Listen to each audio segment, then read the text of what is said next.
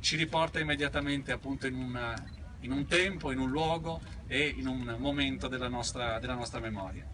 Abbiamo deciso di dedicare questa via a Demetrio Stratos per molti motivi, ma ci tengo a sottolineare i più importanti, almeno dal nostro punto di vista.